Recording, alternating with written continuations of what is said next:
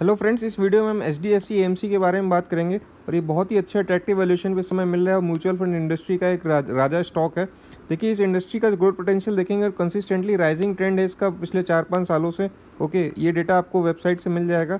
और अगर आप म्यूचुअल फंड इंडस्ट्री की ग्रोथ के बारे में बात करेंगे तो दोस्तों पंद्रह परसेंट कैगर से ग्रो किया पिछले पाँच सालों में। और हमारे बैंक में तो पैसा चार परसेंट सात परसेंट से ग्रो करता है। तो इससे अच्छा ग्रोथ पोटेंशियल कहाँ मिलेगा? और इसके ट्रिगर्स देखिए ये आजकल अवेयरनेस बहुत अच्छी बढ़ रही है। ठीक है इंडिया का यंग डेमोग्राफिक पॉपुलेशन जो इसका एडवांटेज बहुत अच्छा मिलने वाला है इस इंडस्ट्री को।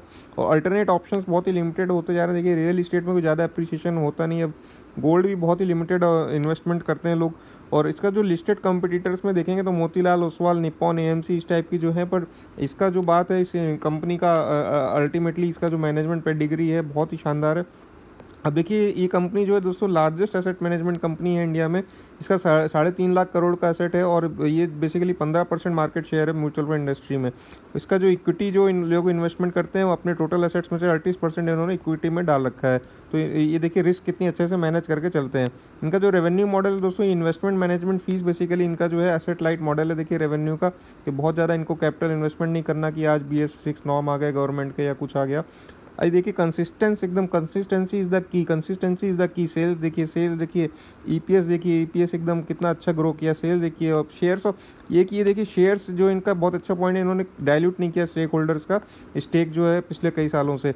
अब देखिए रेशियोज इनके बहुत ही औसम है। Average R mutual equity market की 16 परसेंट होती है, इनकी 35 से ऊपर ही है।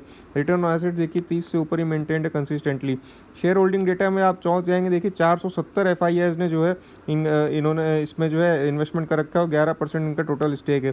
प्रोमोटर इतना जो है, देखिए, इतना शातिर है कि चौहत्तर परसेंट ज़्यादा जो है दे ही नहीं रहा।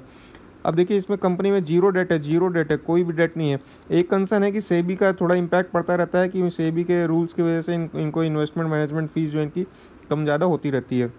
देखिए प्रमोटर चोर नहीं है खून नहीं पीते देखिए स्टेक होल्डर्स का एक भी प्लेजिंग नहीं है इन्होंने कोई हिस्ट्री नहीं है प्लेजिंग की। देखिए इतनी शानदार कंपनी है।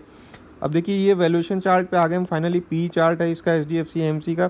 जो अभी रिसेंट की लिस्टिंग है दो तीन साल पुरानी।